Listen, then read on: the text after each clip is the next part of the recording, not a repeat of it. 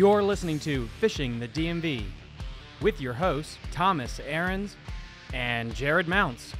Fishing the DMV is brought to you by Jake's Bait and Tackle, located in Winchester, Virginia. If that doesn't get you jacked up, I don't know what will. he called his shot, made an adjustment, and it was absolutely awesome. And Skittles for everybody. And the other guy, you might know him for his channel, but let's just get these here now. Yeah, I know you need shirts to say "Taste the Rainbow" or something.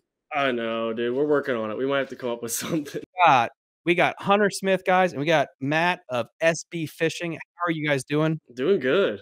Doing good. Thanks for having us on. No, th- thank you guys for making this happen. Um, you know, m- s- m- you are Hunter. You're always welcome on here anytime.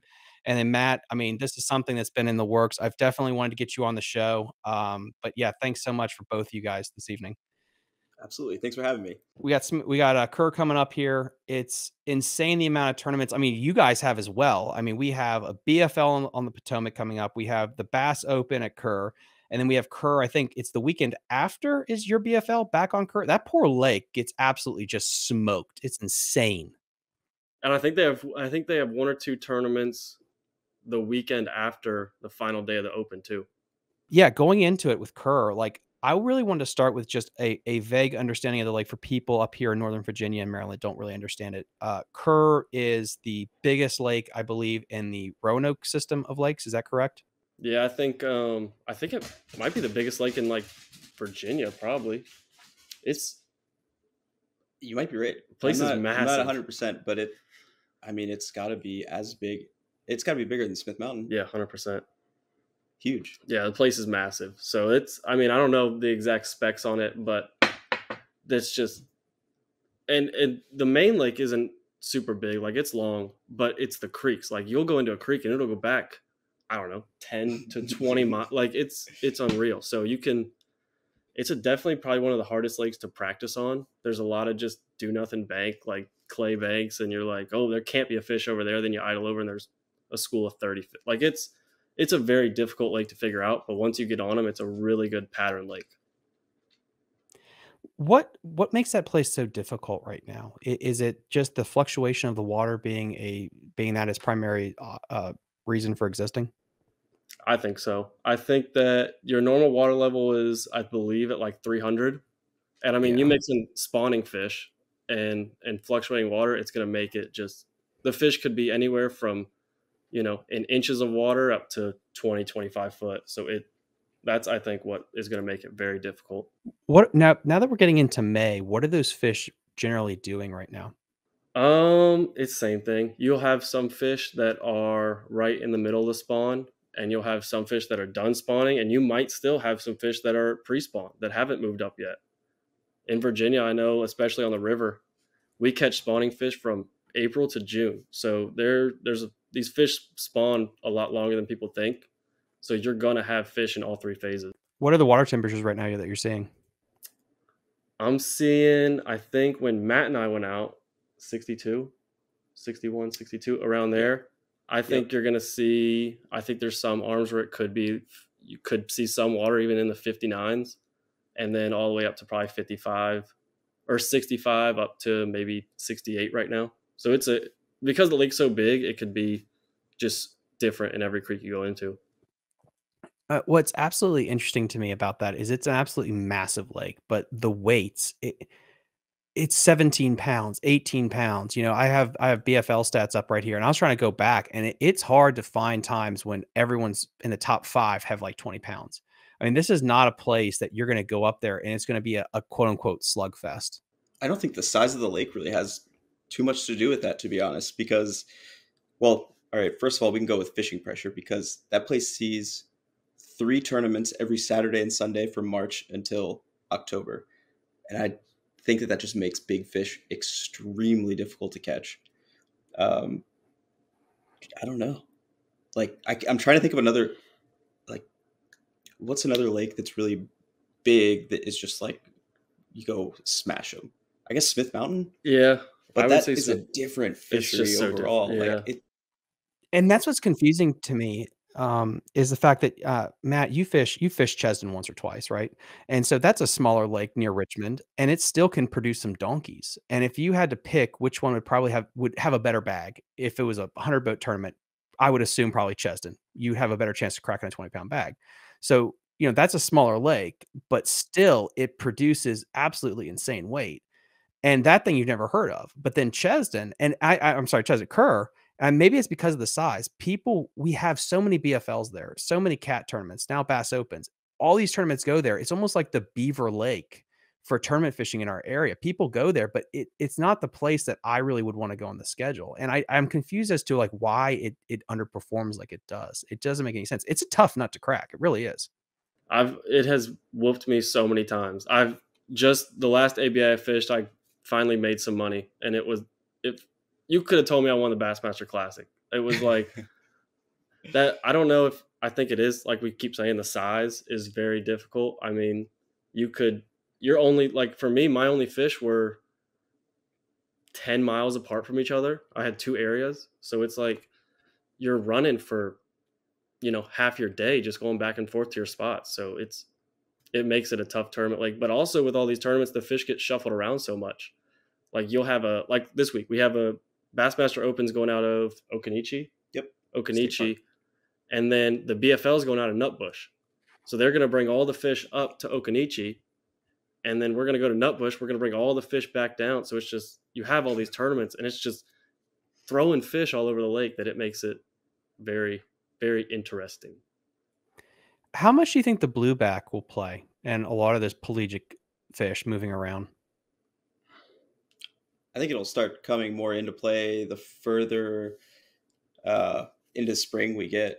You know, the warmer the water gets, the more fish that spawn and move back offshore and start chasing bait around. I mean, I can tell you, I scoped a couple this weekend on the res, and they're probably slightly behind Kerr. You know, it's what is it, 200 miles difference. Um, yeah, there's already fish kind of on those big bait balls that you can chase around. I definitely think Kerr is further ahead of the res in that sense. So I have a feeling that if you can go out and look around and find that, you might do pretty well for yourself. I also wonder how much, and, and, guys, so if you don't know about the res, you know, or the res about Kerr, it does fluctuate a lot. It's usually, you know, just like we said, it's about at 300 level. It's up there. I think it's at 304, 302. I could, don't quote me on that. You can let me know in the comment section if I'm wrong. And so that puts it up in the bushes. And so the bushes are usually going to be in play there. The only issue I have with that is uh, is that going to be consistent? Is that going to be actually the consistent bite? Um, I, with the water fluctuating so much, I, don't know what is going to happen when if you're going to try to be looking for spawners or that pre-spawn bite. Are you going to actually go up in the bushes and try to risk that, or knowing that that may or may not last four days or three days? Are you going to be looking just for those fish that are in that in between area? What do you guys think? So for example, on the first day of opens practice, the water level was at, I believe, 301. And right now it's at 303.5. And that was last Friday. Today's what, Monday? So that's three days. The lake has risen two feet. So, like, that is already going to make it insane. So, if it's me, I think the way I think, and it's coming from a tidal fishery mindset, when we have a flood tide, I think that those fish go explore places that they can't usually fish, like or go. Like these fish may there's places that they may have never been. So I think when that water goes up, they're they're gonna go try and find something new, something they haven't seen, and then so I'd be looking at the bank first off. I know Matt Matt's probably gonna be scoping it either way, but that that that would be me. I'd probably go to the bank and see see what moves up. Yeah, I think there's going to be a huge portion of anglers because any eh, when even when I was a kid fishing high school tournaments, all the all the old timers talking about the bushes that Kerr, and that's where you get lasered in. So I don't if you're not a local, I think you're going to be allured to go to the bushes and try to find those fish. But I I wonder how spread out that's going to make them, and if that's going to be consistent. I think you can catch them, but I think scoping and looking for the hard structure or those those fish that are chasing bait i think that's going to be the consistent plan there 100% and that's interesting you talked about nutbush because there are so many creeks in this in the area of virginia that you could literally fish that I, the chick on the james nutbush Mattawoman I mean, those three places, that's all you need to fish, and you could probably cash checks. It's insane how we have on these three fisheries such unique areas that all the fish get dumped in or taken out of. When it comes to the chick, I guess they get taken out of the chick.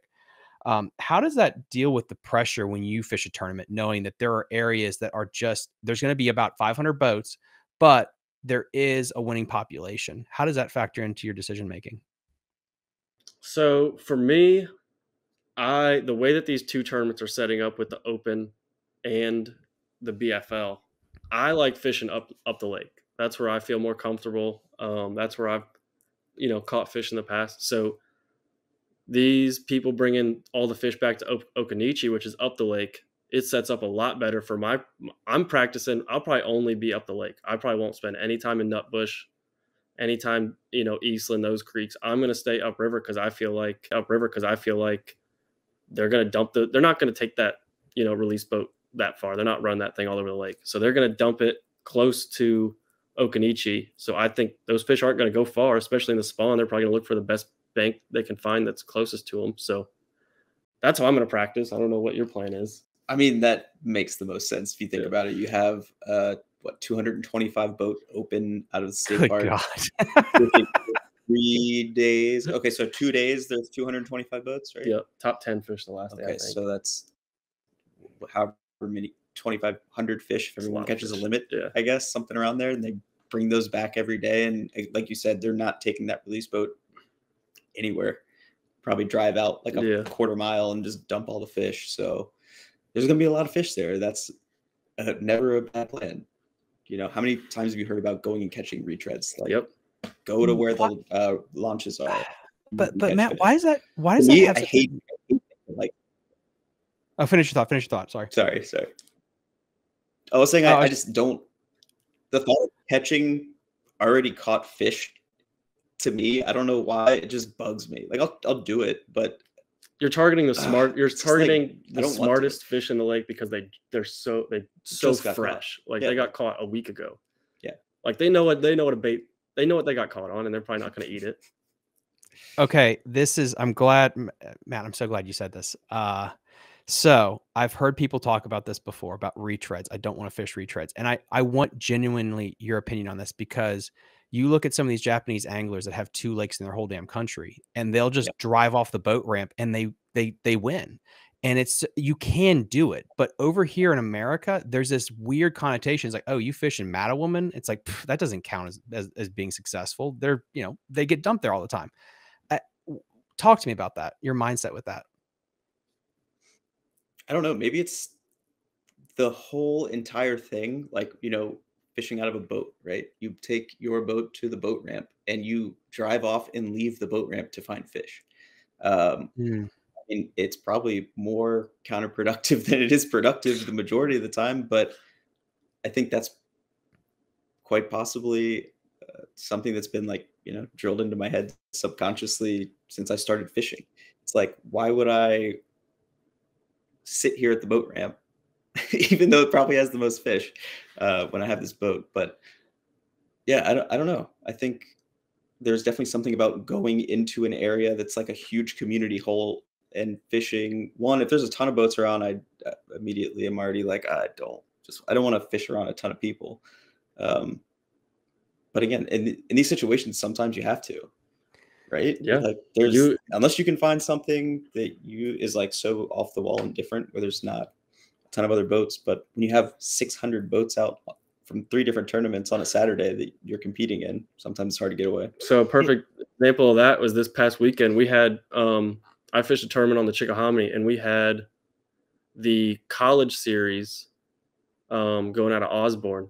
They had 275 boats, college series, Dear and we God. had probably five or six more tournaments on the Chick, and probably one out of Hope. So, and the fish are spawning, and everyone knows on the Chick when the fish are spawning, they're spawning, they're on trees because that's, I mean, that's the hard cover. So that's that's how you win. That's how you win this time of year is you flip trees. So you had probably 250 boats in the chick alone, all fishing trees. So that's to prove that point that sometimes it's just part of what you have to do.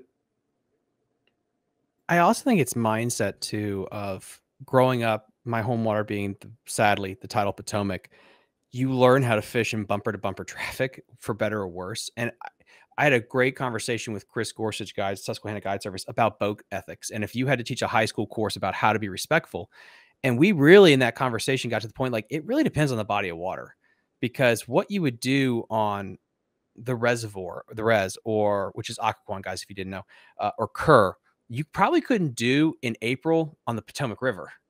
Like, and and that's so hard. And I really does think it gets down to your mindset of being able to fish with people around you and dealing with it. And also, I think this is why guys that grow up fishing tidal bodies water kick ass in Florida.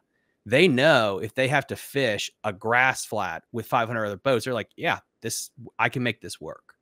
But yeah, that, that's so fascinating to me get, getting that information. Guys, let me know in chat right now. Do you fish? Are you okay with fishing in crowds if you cash check, or are you just going to eat it, burn two hundred dollars worth of gas, and just get away mm. from everybody? Let me know in chat right now why, if, if you're good with it, uh, and if you're not. How did you two meet? Um, that's actually a really funny story. So I was, I'll admit, I was a fan.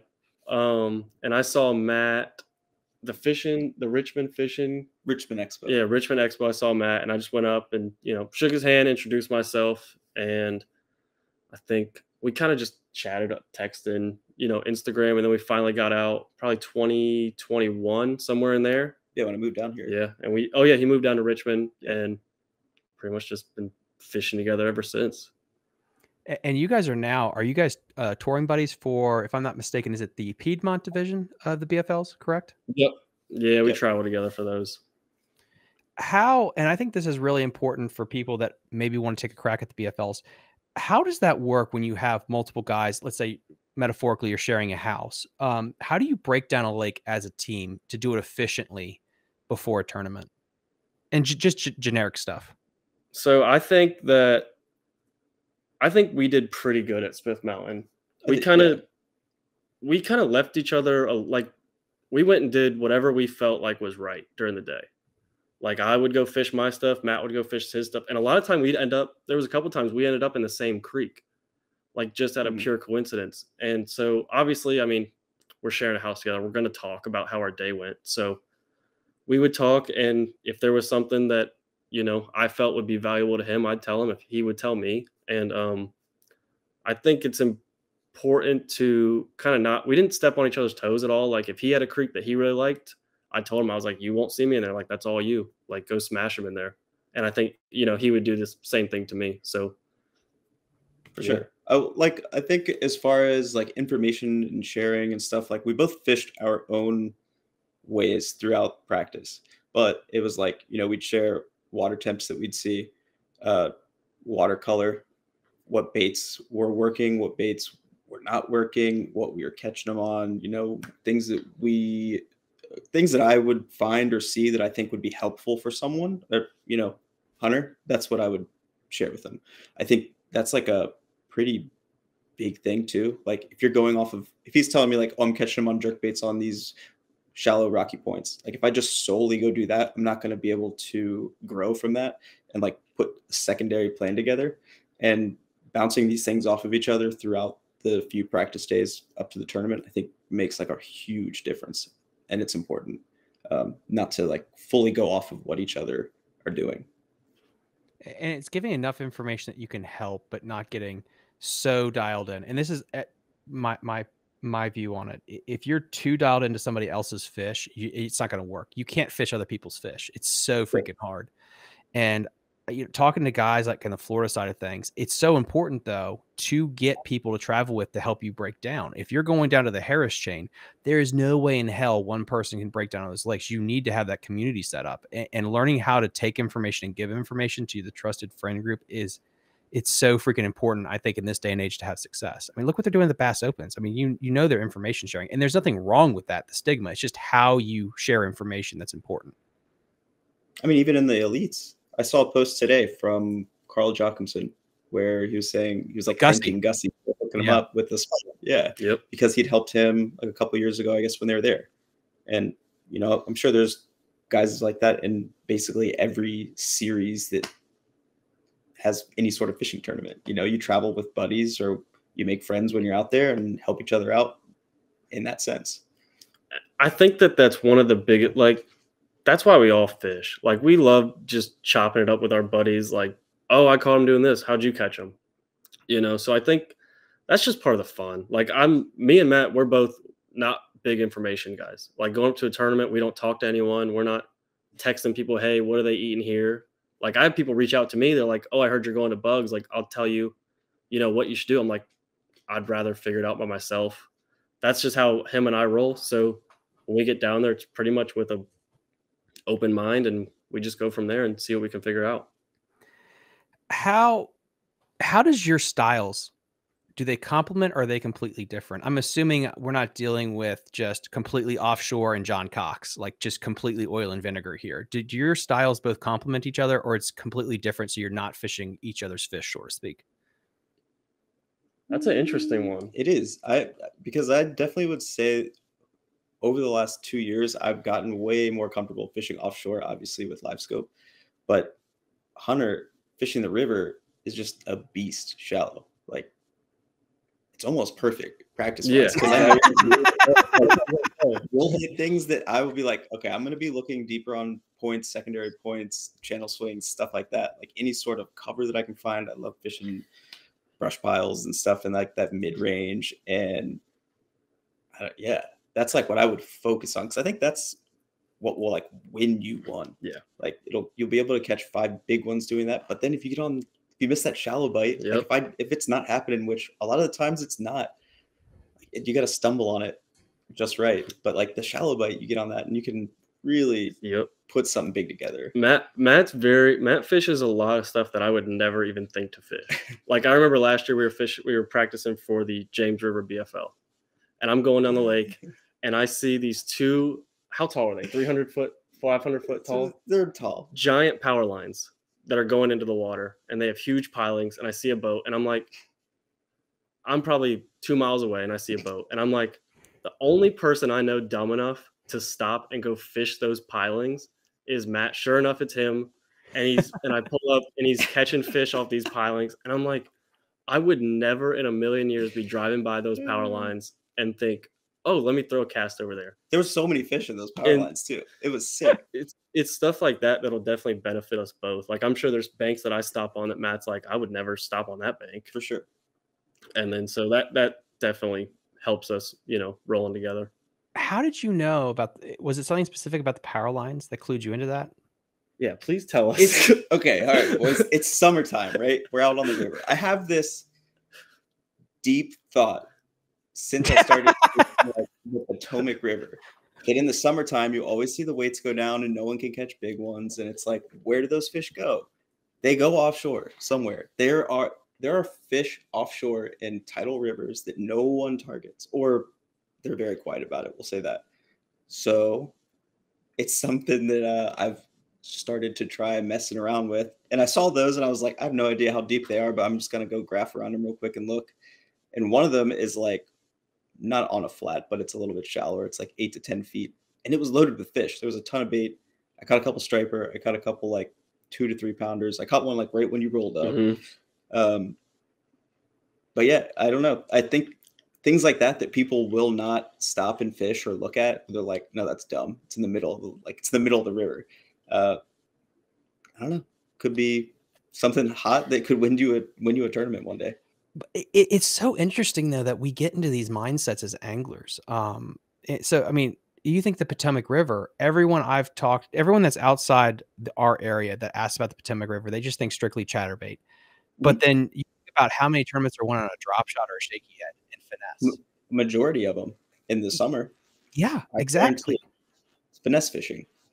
and it doesn't and it's just thinking outside the box of like well even though this is you know a power fishing just absolutely dream you got to think outside the box. You looking at the place more like a lake i would assume and like okay why wouldn't they be here? Why wouldn't this work? I've destroyed them on the potomac on a spy bait on a highly pressured submerged flat. It's like why wouldn't it works you know for smallmouth and it works for other places why wouldn't it work here? And but we get in our minds like it no it can't because it's this is just how it is And again, I challenge people that are listening, like just think outside the box. You you don't want to really put yourself into these like little uh, forms that it, this is how it has to be, whether it's with spinning tackle, whatever bait you're throwing. If you're the first one to do it, you'll be rewarded for it, hundred percent. Um, what what we got here in the comment section? Don't blow up Pohick spot. I it's a damn creek. I'm not blowing up a damn creek. I'm just saying I caught him in Pohick. Good lord. oh. And I just did blow up the spy bait. I don't care. You still got to figure it out. But there's some tips for you.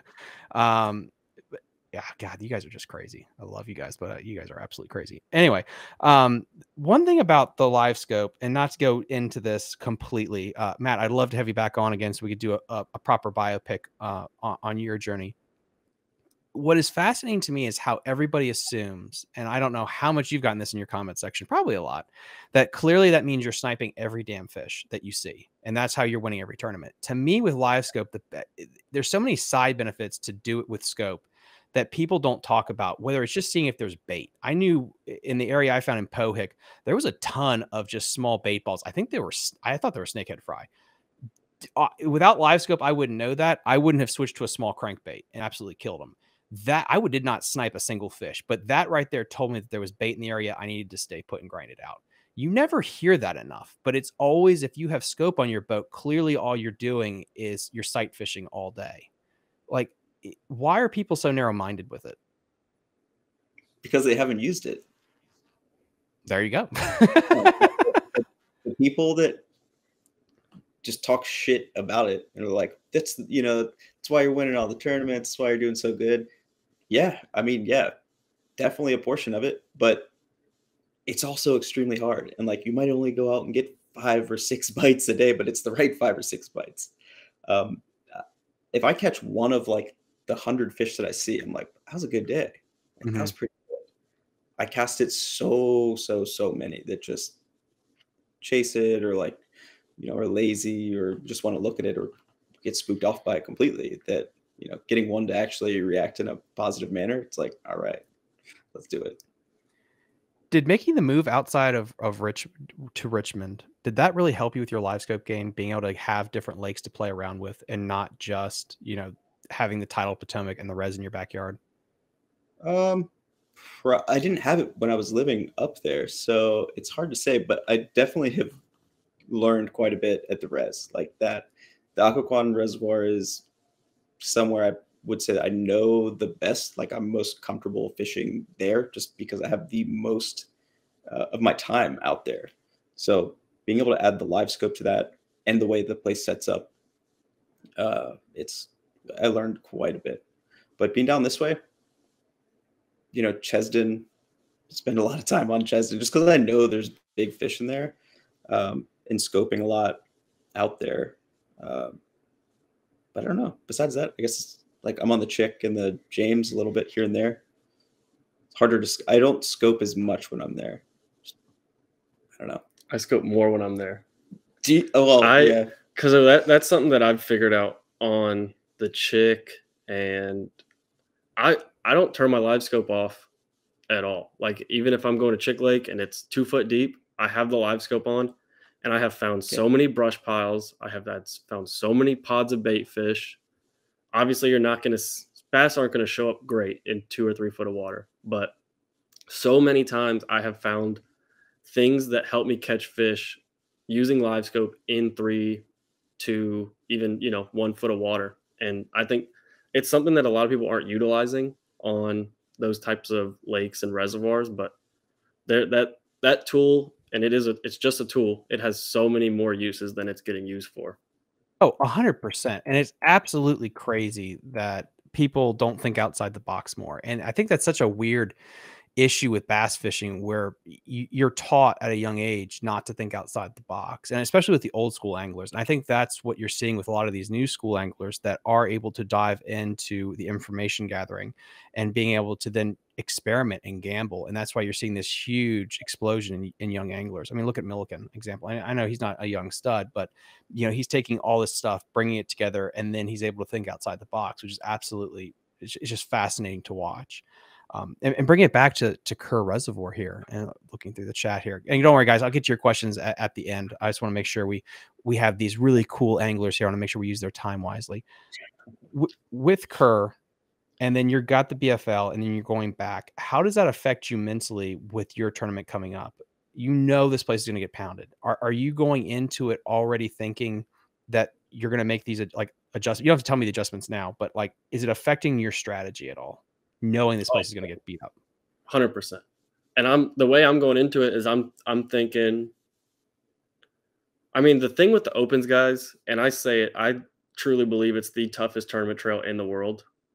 Um, they find everything. There is nothing on Kerr that is going to be that. There's no stone that will be left un, unturned. So there's no think. There's not even really any thinking outside the box going into this tournament. Like that's how you would think you have to go into it, but no matter what you do, they have done it and they have done it probably 40,000 times in the span of eight days. So I don't even know. I'm just going to go fishing. Like that's. I think that lake sees so much pressure. Those fish are just used to it. Like truly, I think that like yeah, you're fishing a pressured fishery, but it's not like it just like something just opened up and there's like a ton of tournaments there. Those fish are literally born and raised and like grow to whatever point they grow to, experiencing 500 boats every Saturday, Sunday, 10 months out of the year, and being fished for. Yeah, I, I, I'm I'm interested you know, and and hopefully, guys, I, I have a call into the Virginia Department of Wildlife Resources. I'm trying to get a DWR guy that runs that like to come on and talk about the bait fish populations because I keep hearing at nauseum on forums and stuff that I've been going through this week about the blueback there. I don't think the blueback are there yet as heavy as they are in other lakes. I think in five to ten years it'll play. And then you have the spotted bass, and, and the bass podcast was talking about the spotted bass a little bit there. I don't think the spots are going to play as hard as like a Gaston necessarily. And, and again, um, I this could be a whole other show is about the whole Gaston thing. But like the spots on Gaston, night and day different than Kerr. I do not think that's going to be a hard play, but I, I could be wrong about that.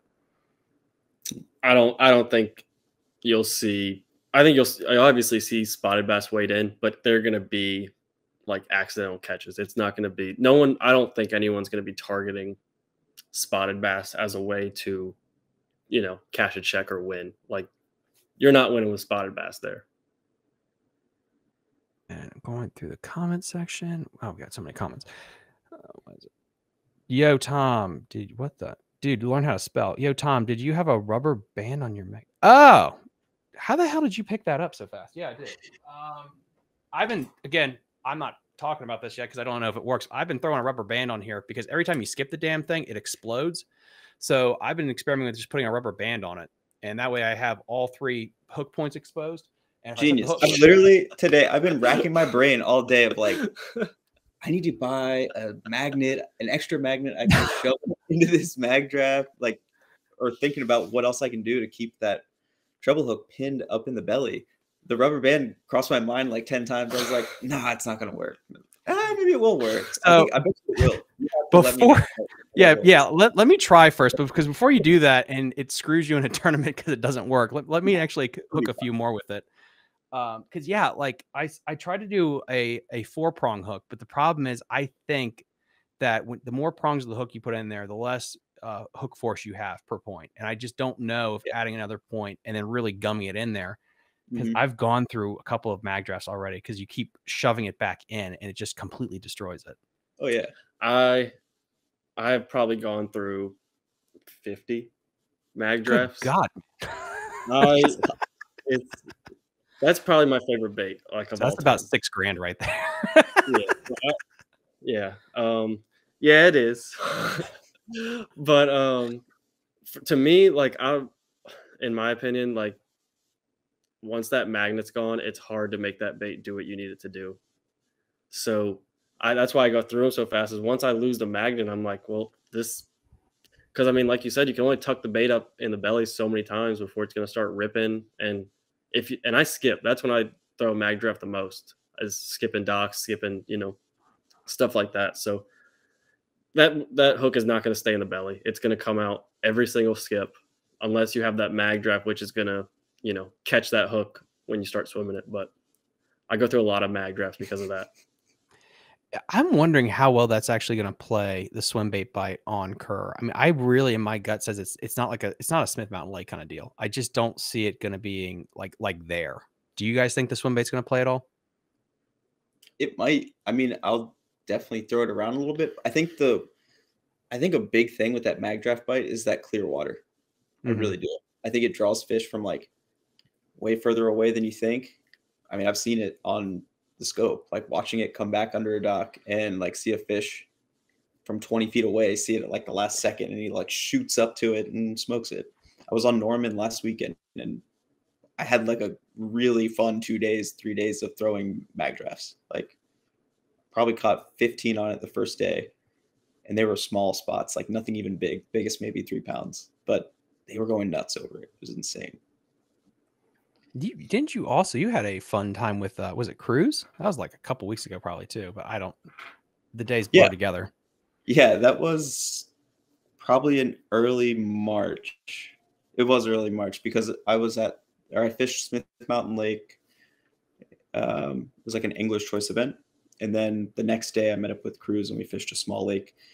That was a lot of fun. He's a really good dude. It was the first time meeting him and hopped on my boat. Honestly, I haven't told anybody this, but the it was funny because the way it was set up, like we texted back and forth a little bit, but it was really set up through my friends over at English Choice. And I was under the assumption that he was going to bring his boat.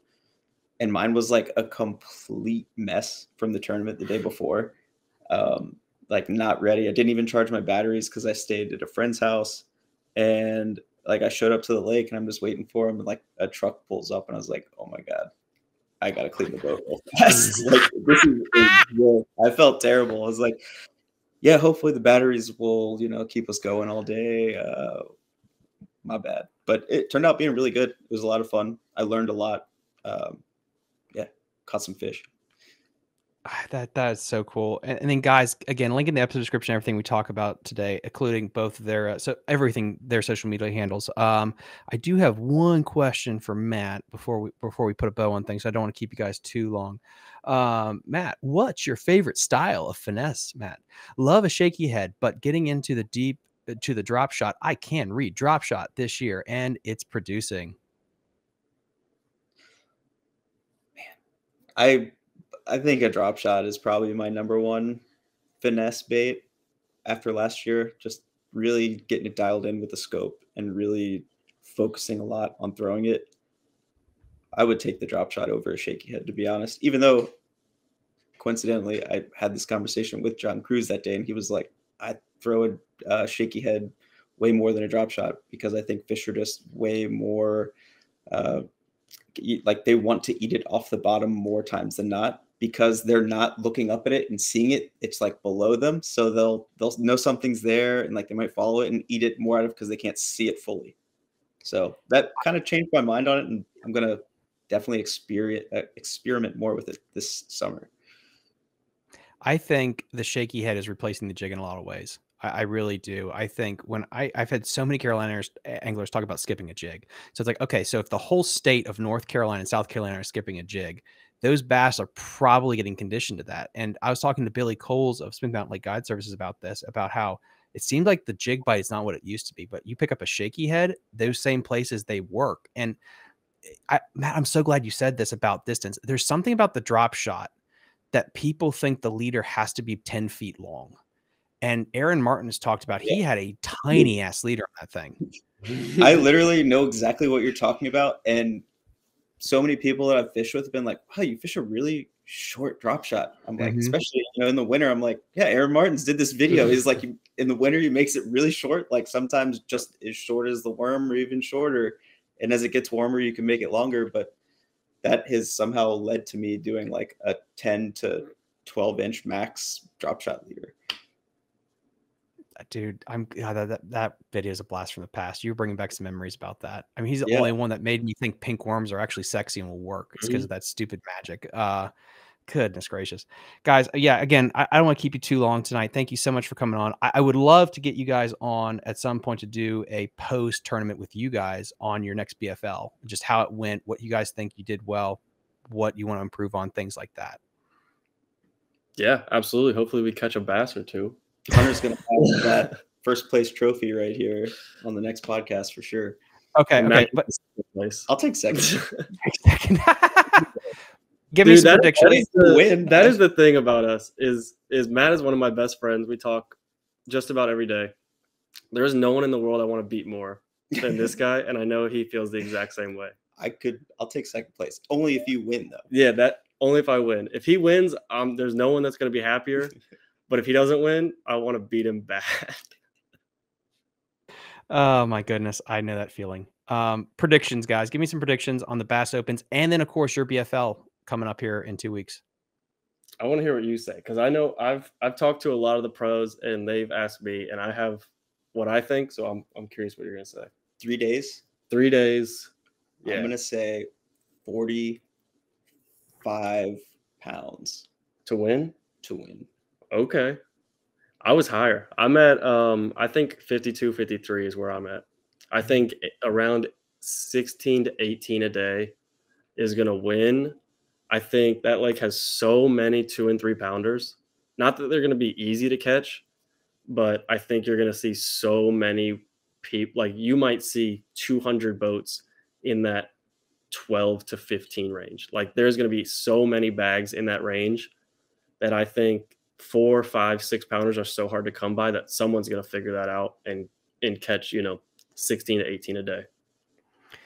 Yeah, and, and David Williams, yes, they're both fishing as boaters. Um, I think it's probably going to be about 40, I think 42, maybe 45. I just, that lake is so weird. There's a ton of boats, and I don't think there's a lot of five and six pound fish in there.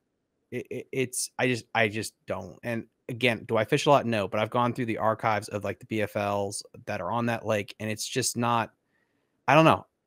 Could be wrong because the water is in the bushes. I think if it wasn't in the bushes, I don't think the weights would be very high at all. I think it'd be a lot harder to fish that place. Now, your BFL, what do you think? To win, I'm at BFL. You get a lot, like you'll have a lot of locals in the open, but BFL you'll have 70% locals probably. I'm Oh, gonna boy. say I'm gonna say for a one day shootout, I'm gonna say 16 and a half to 17, somewhere in that range to win Wow. I was thinking 18. 18. Yeah. 18. Yeah. Yeah. If- I mean, for getting a one day shootout, like any, like One someone can different. stumble. Yeah. And I think, I think first day of the Bassmaster Open, we will see someone will have 20. I think someone will have 20 and then you'll see the weights drop, you know, day two, day three. But there, there will be one or two 20 pound bag weight, bags weighed, in my opinion. do you think anyone cracks 22, 23 pounds? I don't think that much. I think 20 is definitely possible. I want to say I fished um, an English choice event there a few weeks ago. And I think the first day was 20 pounds. What won it? It was like 20 and a half. So it's definitely, That 20, you'll see a 20 pound bag. I wouldn't no say doubt, 20 is over, I wouldn't say over 21. Yeah, I I, don't, I wouldn't say twenty is like a unicorn bag by any means. Like twenty pounds happens out there. Like it's it's nothing that's like crazy, but you don't really see 22, 23, 24 out there. So I think that someone will crack a big bag, and then I could I could see a couple twenties coming in throughout the tournament. I, I'm I'm interested to see. I mean, I think. I mean, this is the last question. I'm sorry, I keep this just popped in there. What lake would you want to see a big tournament like this on? Because to me, it's like no one talks about Smith. Maybe that's good doesn't get the pressure, but I think Smith would just smoke this place when it comes to bags brought in. I mean, there was I think two seven pounders brought in at the last BFL. Like it's insane how that lake produces. But like, where would you guys want to see something like this? Hunter, you can't say the James. it's already done that. I do last not want to see a tournament on the James. Not Stay another away, Not again. please. There's so many. No, I think Smith Mountain Lake would be pretty sick. That'd be It, really. it would be awesome to see that um, like tiered angler, the 225 of those guys out there, really just breaking it down. I think it'd be pretty sick. You'd see some really big bags. I and a lot of think- big fish. without going into like logistics and stuff because i know there's so much that goes with putting these turn these 250 vote tournaments on i think smith mountain you put them on smith mountain in april it's the weights like you saw, in the bfl the weights would be insane i think there'd be there you could see like toledo bend type numbers come out of smith mountain lake like you could see a 28 pound bag come out of there and and stuff like that. And I think with again without looking at logistics, I'd like to see them go to like I don't think they would fit, but like Anna would be really cool. Because Anna, I mean, you know, that would be sporty. if you put, I mean, I don't know how if it would handle 250 boats, you but get one dock each. If you lord. like if Everyone you in rotation. Yes. put those, I mean, they were putting. I mean, McCluskey was catching 30 pounds. That McCluskey catches 30 pounds every Ah, weekend. You're right, but like they're catching 30 pounds out there. Like that's, I mean, it was the winter time and stuff, but there's not many places that's happening. So I'd like to see, you know, a big tournament trail. Like, I mean, the elites could go there. They only have 80, 90, 100 boats. So That would be cool. like I, would be really cool. I would like Duckett to get it together and get the MLF guys because they break their fields down. I think Yep. Chad help me out. It's either 30 or 40 boat. I don't know what it is per 40. day. Roanoke Rapids and Lake Gaston and rotate them. They did it for all those uh, lakes around um, uh, Charlottesville, North Carolina. They should do that for those two places because Roanoke, that's another place I need to do a hidden, uh, just a nice little breakdown of because that's a neat lake that no one fishes and it's there. it. So John, I don't know if you've heard. Um, we've got a trail around here called John Boat Elite, and it's horsepower restricted. They go, um, I think, to all nine nine places. They have some on the river. I think they go to Gaston. They went to Roanoke Rapids, I think, for their first event last year, and it was some of the craziest weights I've ever seen. I know my buddy Travis Crowell. He's um down in Texas now. I think he had two pounds on day one, and came back with like 20 something on day two and won the tournament. Like it, like they were the weights for the single days were just insane. That's so crazy. Uh, But again, it's like there are so many lakes in Virginia. And I, I again, I could do a whole episode on that about the electric boat culture, which I want to do because I was talking to Jeff Little at ICAST last year, and apparently, this is allegedly what he said that the two hot spots for electric motors is Georgia and Virginia because they have Yep. so many electric motor only lakes. For sure.